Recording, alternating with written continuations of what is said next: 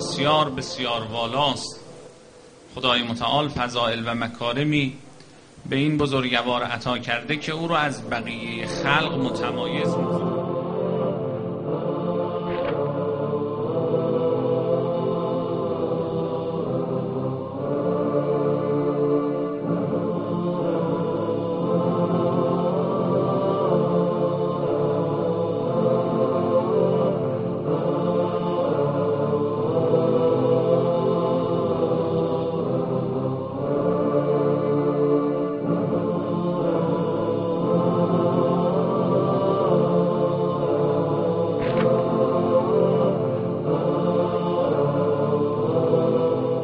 الله الرحمن الرحيم. الحمد لله الذي جعل الحمد مفتاحا لذكره وسببا للمزيد من فضله ودليلا على آلائه وعظمته والصلاة والسلام على أشرف بريته وأفضل رسله حبيب قلوبنا وطبيب نفوسنا أبي القاسم المصطفى محمد.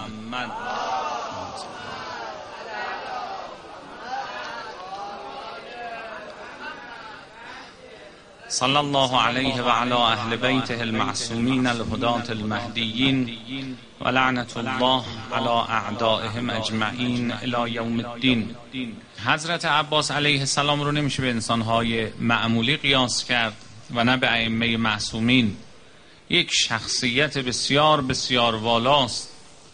خدای متعال فضائل و مکارمی به این بزرگوار عطا کرده که او رو از بقیه خلق متمایز می‌کنه. شخصیت او بگونه است که علامه مقرم می‌گوید مقام او نزدیک به سید الشهدا علیه السلام امام معصوم حجت خدا. به جایی رسید حضرت عباس که مقامش نزدیک مقام امام حسین سلام الله علیه هست ویژگی ها و صفاتی داره که در اونها به کمال رسیده به اوج رسیده حضرت عباس علیه السلام. من بعضی از اون ویژگی ها رو میگم. جنبه الگویی داره درس هست. برای همه ما اون مسیری که حضرت عباس علیه السلام در اون قدم گذاشت. به کمال رسید اون مسیر به روی من و شما بسته نیست.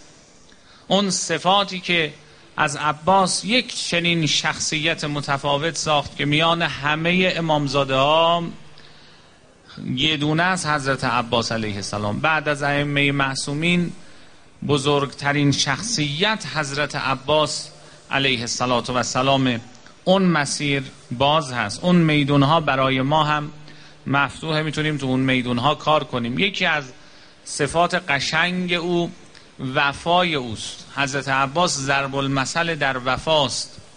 چهار هزار نفر سپاه رو لشکر رو جنگیده متلاشی کرده به آب رسیده.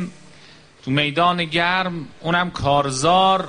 قطعا در اوج تشنگی است. اما به یاد امام حسین علیه السلام میفته آب رو روی آب میریزه. این وفا رو شما کجا سراغ دارید؟ جز در شخصیت حضرت عباس. این وفا خیلی قشنگه. به دریا پا نهاد و تشنه لب بیرون شد از دریا مروت بین جوان مردی نگر عزت تماشا کن. در وفا زیباتر از عباس علیه السلام مثالی نیست مگر پدر بزرگوارش امیر المومنین علیه السلام که نسبت به پیغمبر همین وفا رو داشت. نسبت به حضرت زهرا سلام الله علیها همین وفا رو داشت. یکی از صفات قشنگ عباس علیه السلام تسلیم اوست. تسلیم امام زمان خودش بود. و این خیلی مهمه که انسان تسلیم دین باشه تسلیم خدا باشه تسلیم اولیا باشه. تو زیارتنامه حضرت عباس که از امام معصوم بیان شده. و اینم خودش یه امتیاز خاصه که زیارتنامه این شخصیت بزرگوار فرزند برومند امیر المومنین علیه السلام زیارت نامش یه آدم معمولی بیان نکرده. زیارت نامه او رو حجت خدا امام صادق علیه السلام بیان کرده است. در این زیارت نامه ای که از کلام صادق مصدق است این عبارته. اشهد لک به تسلیم و تصدیق و الوفا و النصیحه لخلف النبی صالح من شهادت می‌دهم که تو در اوج تسلیم بودی. یعنی در برابر گفته امام حسین دیگه حرفی نه تسلیم محض بود مطیع و فرمان بردار امام زمان خودش بود. اینه که عباس رو سلام الله علیه رو یک شخصیت متفاوتی قرار داده یک شخصیت کاملا متمایز. تسلیم محض بود. سومین ویژگی حضرت عباس علیه السلام ادب قشنگ اوست. ادب خیلی آدم رو به جاها میرسونه به کمال میرسونه. ادب کلید برای توفیقه. ادب کلید برای رضای خداست. ادب به چی؟ ادب به کی؟ ادب نسبت به همه معصومین. ادب نسبت به همه مقدسات. این پرچم سبز و سیاه که گاهی به رسم عذاب و جشن به در و دیوار زده میشه این مقدسه. حسینیه ها مقدسن مساجد مقدسن سادات مقدسن پدر و مادر وجود مقدسن. حرم ائمه معصومین مقدس است و مؤمن باید به همه اینها احترام بگذاره. ادب نسبت به همه اونها رعایت کنه. گاهی شما نسبت به یکی از سادات زراری حضرت زهرا ادب می‌کنید خدا دستتون رو می‌گیره. در توفیق رو به سوی شما باز می‌کنه. این ادب مهمه. ادب خیلی قشنگه. امیر المومنین علیه السلام فرمودن اگر دو روز از عمر تو بیشتر باقی نمونده یک روزش رو در تحصیل علم بگذرون یک روزش رو در تحصیل ادب. با علم خدا و دین رو می‌شناسی. با ادب می‌تونی خوب خدمت کنی در راه خدا. این ادب از زیباترین صفات قمر بنیر بنی هاشم ابوالفضل عباس خیلی زیبا ادب رعایت می‌کرد نسبت به امام حسین. همیشه پشت سر عبا عبدالله حرکت می‌کرد. هیچ وقت دیده نشد عباس دوشا دوش حسین سلام الله علیه ما حرکت کنه. همیشه در برابر امام حسین مانند عبدی بود مانند برده ای بود مانند غلامی بود در برابر اربابش. تا امام حسین نمیفرمود بنشین نمی نشست تا نمیفرمود سخن بگو نمی گفت دیگه اینا رو همتون شنیدید. شب آشورا وقتی امان نامه آورد صدا می‌زد. عین بنو اختنا اصلا جوابش نداد اصلا سر بلند نکرد عباس علیه السلام. تا اینکه امام حسین علیه السلام فرمودن داداش جان جوابشو بده داره صداتون می‌کنه. شما جوابش بدید. عجیبو. و این کان فاسقا فانه بعض اخوالکم. ادعای فامیلی داره به هر حال. داره صدات می‌زنه جوابش بده. اگه امام حسین نمیفرمود جوابش بده اصلا جوابش نمی‌داد. نه تا صبح تا صبح قیامت هم اگه فریاد می‌زد عباس علیه السلام اونقدر معدب نسبت به امام حسینی که سر بلند نمی‌کرد. و اینکه شمر صدا می‌زنه باعث شرمندگی حضرت عباس بوده. احساس شرمندگی می‌کرد که چرا او داره صدا می‌زنه عباس رو. بعدم ببینید چقدر زیبا برخورد کرد. چقدر محکم و کوبنده برخورد کرد. وقتی گفت من براتون امان نامه آوردم گفت لعنک الله و لعن امانک. قبحک الله و قبح امانک. اتو امننا و ابن رسول الله لا امان له. تو به ما امان میدی در حالی که پسر پیغمبر امان نداشته باشه. این خیلی نکته ارزشمندی عزیز من. محور زندگانی حضرت عباس امام حسینه. محور همه فضائل و مکارم رو امام حسین می‌بینه.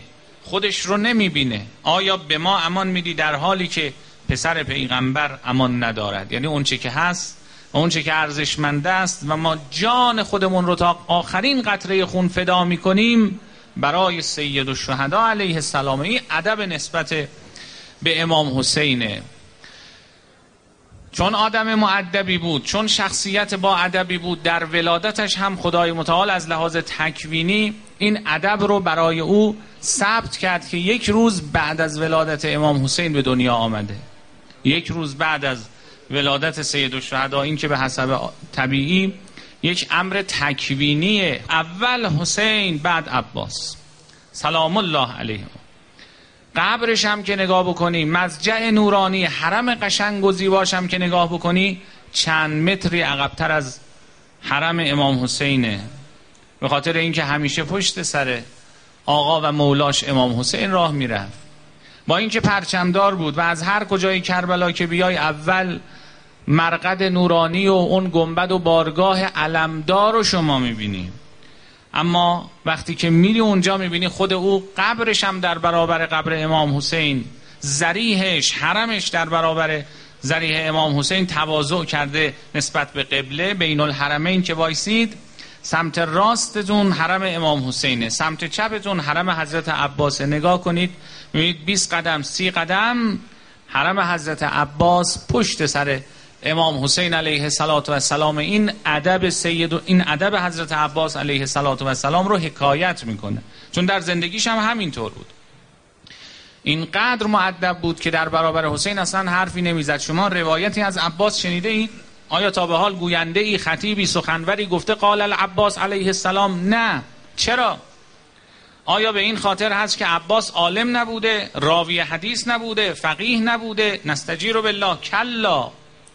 عباس علیه السلام عالم بوده است. اون هم چه علمی؟ نه علمی که من و امثال من داریم. اینا قاطیه با جهله علم حضرت عباس که اینطور نبوده. امیر المؤمنین علی علیه السلام فرمودن ان ولدی العباس زق العلم زقا. فرزند من عباس علم رو با شیر از مادر گرفته. در کوچکی در نهاد او علم و دانش الهی قرار دادن. این شخصیت علمی عباس. ولی سوال چرا تو کتاب ها از عباس روایت نمی کنن که قال العباس ابن علی علیه السلام می‌دونی چرا؟ به خاطر ادب او محضر امام حسینه. می‌گفت جایی که برادرم حسین است جایی که برادرم, برادرم حسن است من اونجا حرف نمی‌زنم. قطعا می اومدن پیش حضرت عباس که آقا حدیثی برای ما بگو سخنی برای ما بگو. می‌گفت نه من در برابر امام حسین حرفی برای گفتن ندارم. این ادب خیلی زیباست خیلی قشنگه. عالم اهل بیت. شاید شنیده باشید میگن یک عالمی گفته بود حضرت عباس مقامش خیلی والاست اما از لحاظ علمی علم من بیشتره. این علم نیست. اگر یه دانشمندی یه همچین حرفی بزنه معلوم گرفتار جهله که بر عباس داره تکبر می‌کنه. بر عباس داره فخر فروشی می‌کنه. اما از اونجایی که آدم خوبی بود می‌خواستن هدایتش کنن. شب تو عالم رؤیا حضرت عباس علیه السلام رو دید. حضرت بهش فرمود فلانی امروز تو جمع رفیقات یه همچین ادعایی کردی. گفتی که علم و دانش من از عباس فرزند امیرالمومنین بالاتر من فقه و اصول خواندم من منطق و کلام خوندم بحث های مختلف کتاب های گوناگون خوندم. معلوم نیست حضرت عباس این کتاب ها رو خونده باشه. فقط یه سوال از تو دارم. بیا معلم های خودت رو با معلم های من بررسی کنیم مقایسه کنیم. تو پیش کیا درس خوندی؟ و چه درسی خوندی؟ و من معلمام کیان؟ می‌دونی معلم های من کیان؟ معلم من امیر مؤمنان علی علیه السلام در شهر علم پیغمبر است. معلم من امام حسن است معلمم حسین معلمم زینب کبرا عالمه غیر معلمه است معلم من زین العابدینه من پیش اینا درس خوندم تو پیش کیا درس خوندی؟ آیا علم تو آمیخته با جهل نیست؟ تو این کتابا مگر همش عین واقع؟ از خواب بیدار شد رفت حرم حضرت عباس گفت آقا جان توبه. اشتباه کردم نفهمیدم. علم حقیقی در خونه شماست عالم واقعی هم شما هستید. این بزرگواران از ناحیه فضائل و مکارم در این رتبه ها هستند. تسلیم وفا اطاعت از امام حسین علیه السلام در اوج خودشه. فقط یک نکته از کجا به این کمال رسیده حضرت عباس؟ رمز این کمال حضرت عباس چیه تو دو سه تا صفت بیان می‌کنم. صفت اول عبودیت و بندگی برای خداست. زیارت حضرت عباس رو که خونده اید انشاءالله خدا قسمت روزی همتون کنه. به زودی زود. السلام علیک ایها العبد الصالح المطیع لله و لرسوله. اگر نبود درباره حضرت عباس هیچ سخنی از ائمه معصومین جز همین یه خط. از زیارت عباس علیه السلام برای ما کافی بود که امام صادق مصدق در زیارت او می‌گوید تو عبد صالح خدا هستی. عبد صالح خیلی مقام بلندی است. جوانهای عزیز رفقا و نور چشمان من باور ما اینه که اگر حضرت عباس تو پرونده زندگیش یه دونه گناه بود یه دونه معصیت بود خدا اینا کرده غیبتی دروغی کلامی حرام نگاهی حرام رفتاری حرام نستجیر بالله. اگر در پرونده او بود امام صادق به اعتقاد ما اینطور در زیارت او خطاب نمی کرد السلام علیک ایها العبد الصالح. عبد صالح پیغمبره. عبد صالح مولا علی علیه السلامه. این که امام صادق میگه تو عبد صالحی معلوم میشه حضرت عباس پیراسته از همه گناهانه. پیراسته از همه آلودگی هاست. مگه ممکنه تو زیارت او حجت خدا اینطور بیان کنه؟ سلام الله و سلام و ملائکته المقربین و انبیاء المرسلین. همه سلام ها سلام خدا سلام ملائک سلام انبیا بر تو فرزند امیر المؤمنین از شما سوال می‌کنم آیا یه همچین سلامی رو میشه به غیر معصوم گفت؟ این نشان دهنده اسمت حضرت عباس علیه السلام هست. از کجا عباس به اینجا رسید؟ یک عبودیت بندگی خدا. رابطه قشنگی که با خدا ایجاد کرده بود از طریق عبادت و بندگی. حضرت عباس اهل سجده های طولانی داشته اینا رو خونده اید اینها رو آیا شنیده اید که حضرت عباس علیه السلام اهل سجده عاشق نماز و عاشق سجده و راز و نیاز با خدا بوده است. اونقدر سجده کردن که اثر پیشانی تو چهره زیبا و مبارکشون بود. این چهره ای که میگن قمر منیر بنی هاشم ماه زیبا زیباییش زیبایی معنوی است تا مادی گرچه از لحاظ مادی هم خیلی زیبا بوده حضرت عباس اما اون زیبایی عبودیته اون زیبایی بندگی خداست که جاذبه داشته داره و خواهد داشت. اولین صفتی که باعث اون صفات زیبا میشه عبودیت و بندگی خدای متعال هست و دوم شناخت صحیح نسبت به امام حسین. اشهد انک مضیت علی بصیرت من امرک. چقدر زیباست که ما این صفت رو مد نظر خودمون قرار بدیم. بدونیم چه کار داریم می‌کنیم. اگه اطاعت می‌کنیم اطاعتمون برای چیست؟ اگه فرمون برداری داریم از کی؟ برای اینکه برادر بزرگ او هست فقط اطاعت نمی‌کرد. حضرت عباس حسین رو محور زندگیش می‌دونست. حجت خدا و واجب الاطاعه می‌دونست. این خیلی مهمه. انکم مضیت علی بصیره. نکنه خدایی نکرده. رفتار ما گفتار ما از روی جهل و نادانی باشه. حضرت عباس صاحب امشب به نظر من زیباترین صفتش همینه که شناختش شناخت صحیحی بود. یعنی می‌دونست راهی برای کمال نیست مگر در خانه محمد و آل محمد.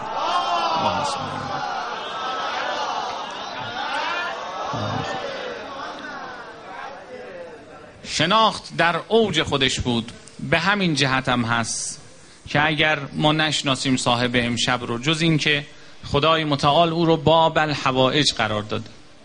واقعا با توجه به این تاریخی که قلم به دست مزدوران بوده قلمی که تاریخ می نوشت قلم مزدور بود قلم مسموم بود قلم عموی بود. شما توقع نداشته باشید ده جلد کتاب اوصاف حضرت عباس رو برای من و شما نقل کنن. دشمنان حضرت عباس بودن که قلم به دستشون بود. در صدد اخفاء فضائل امیر المؤمنین و اهل بیت بودن. اما گاه گاهی سخنانی مطالبی از این سو و اون سو به ما رسیده است که همونها کافی است برای اینکه پی ببریم به عظمت صاحب امشب. از راه معلول میشه پی به علت برد. یعنی چی؟ یعنی اینکه امروز بعد از 1400 سال وقتی خدای متعال صاحب امشب رو مقامی بهش داده که بهش میگن باب الحوائج. از این باب الحوائجی پی ببرید که تو زندگیش چقدر با بزرگواری زندگی کرده چه زندگی زیبایی داشته چقدر معصوم بوده چه آبرویی پیش خدا پیش پیغمبر پیش امیر المؤمنین پیش حسن و حسین علیهم السلام داشته که او رو باب الحوائج خطاب کردن این لقب باب الحوائجی رو که ماها به حضرت عباس ندادیم. این لقبی است که خدا برای حضرت عباس انتخاب کرده. می‌دونی باب الحوائج یعنی چی؟ باب الحوائج. یعنی هر حاجتمندی با هر اعتقادی با هر جایگاهی در خونه این آقا بیاد دست رد به سینهش نمی‌زنن. باب الحوائج الله چنین شخصیت یقینا معصومه که باب الحوائج. نمونه های باب الهوایجی او بسیار زیاد هست. فقط من یک نمونهش رو برای شما بگم. بسیار زیاده علمایی که در خانه او می‌رفتن. شخصیت های بزرگ علمی که برای حل مشکلات خودشون در خانه حضرت عباس رو می‌زدن و تا امروز هم می‌زنند. باور بفرمایید. سیل حاجتمندانی که در خونه حضرت عباس میرن کمتر از امام حسین علیه السلام نیست. اینو کی قرار داده یه همچین جایگاهی رو؟ کی همچین محبتی تو دلها نسبت به حضرت عباس قرار داده؟ خدا دوستش داره. خدا دوست داره صاحب امشب رو. لذا خدا دلها رو متوجه در خانه او کرده است که از گوشه و کنار میان. غیر شیعه میاد. اصلا برو بالاتر. غیر مسلمان میاد و حاجت می‌گیره از او و مادرش ام البنین سلام الله علیها. این مقام از کجا به او رسیده است؟ این باب الحوائج الله شخصیتی که مسیحی آمده حاجت گرفته. بودایی آمده مشکل داشته در خونه حضرت عباس حاجت روا شده. آیا شما که عاشقان اهل بیت هستید ما که ادعای محبت داریم ممکنه امشب دست خالی از این مجلس از این ازاخانه امام حسین علیه السلام که به نام حضرت عباس قدر خودتو بدون کجا نشستی؟ اینجا مضیف العباس. چقدر اسم زیبایی. مضیف العباس مهمانخانه حضرت عباس و خدا می‌دونه چه مهمانداری صاحب امشب چه سفرهداری. او و مادرش ام البنین سلام الله علیهما. یکی از خطبای تهران نقل می‌کرد می‌گفت که این شب ایام عزا بود. من دیر وقت داشتم بر میگشتم برم منزل. چند تا مجلس برگزار کرده بودم. همین که می‌رفتم توی کوچه پنجره باز شد یه خانمی منو صدا زد. صبر کردم آمد. گفت آقا یه خواهشی دارم. خونه همسایه ما تشریف بیارید. یه حدیث کسایی بخونید یه توسلی به حضرت عباس و ام البنین داشته باشیم. میگه گفتم که من خیلی خستم. می‌خواید برای فردا یا وقت دیگری قراری بگذاریم. من برم استراحت کنم یا به دیگری بگید؟ میگه تا اینو گفتم دیدم این خانم شروع کرد گریه کردن. گفتم خانم حرف بدی زدم چرا ناراحت شدی؟ گفت آخه نمی‌دونی شما جریان چیه. این همسایه ای که گفتم اینا مسیحی هن. اینا ارمنی هن. دختر مریض دارن دکترا جوابش کردن. دکتر جواب شدن اینا مستحصلن بیچارن. من امروز رفتم خونشون ایادت دیدم این پدر و مادر خیلی ناراحت غمگین. گفتم چرا اینطور؟ گفتن دکترها جوابمون کردن. گفتن دیگه هیچ راهی نیست برای شفای دختر شما. من بهشون امید دادم. گفتم ما بچشی ها تو این گرفتاریامون میریم سفره ام البنین پهن می‌کنیم. توسل به گل ام البنین حضرت عباس پیدا می‌کنیم. نظر ام البنین می‌کنیم و حضرت عباس حاجت بهمون میده. شما بیایید نظر کنید. گفتن باش. قرار شد امروز یه حدیث کسا بخونیم. به خاطر همین من شما رو دیدم. گفتم شما بیایید. میگه من این صحنه رو که دیدم گفتم باشه خانم ناراحت نشو چشم میام. ولی من که به نفس خودم ایمانی ندارم. برو خانم های همسایرم جمع کن دست جمعی توسلی حدیث کسایی. میگه رفتیم و حدیث کسا و توسل به قمر بنی هاشم رفتم منزل. رفتم خانه فردا که اومدم از اون مسیر برم می‌دیدم سر و صدای زیادی و در خونه شلوغ هست. اون خانم منو دید آمد جلو گفت آقا دیدی چی شد؟ گفتم نه. گفت بیا با چشم خودت ببین. میگه رفتم توی خانه. وارد شدم. دیدم اون دختری که روی بستر افتاده بود و می‌گفتن ماهاست از این بستر بلند نشده صحیح و سالم نشسته است. گفتم جریان چیه؟ گفتن به عظمت همون آقایی که شما توسل به او پیدا کردید. ام البنین و گل ام البنین دختر ما رو شفا دادن و ما به برکت ام البنین هممون شیعه شدیم و فک و فامیل ما هم آمدن اینجا. قصه رو برای اونها گفتیم و همه به برکت او قرار هست به مذهب تشیع مشرف بشیم. باب الحوائج نمن و تو که حتی مسیحی ها هم توسل پیدا می‌کنن. خدایا به مقام حضرت عباس علیه السلام ایدی امشب ما رو ظهور و فرج آقا امام زمان قرار بفرما. خدایا دنیا و آخرت ما رو از اهل بیت جدا مگردان. پروردگارا به باب الحوائج همه مریض ها از سائل با عافیت بپوشان. خدایا به مقام قمر بنی هاشم هر کسی با هر حاجتی در خانه حضرت عباس و امام حسین علیه السلام آمده است از سائه حاجت روا بگردان. خدایا نسل و ذریه ما رو محب اهل بیت علیهم السلام قرار بفرما. توفیق بهره برداری بیشتر از مکتب اهل بیت از سیره و روش اهل بیت علیهم السلام به همه ما عنایت بفرما. گذشتگان ما روحشون رو از این مجلس و این مجالس شاد بگردان. صلوات بلند به روح حضرت عباس عنایت کنید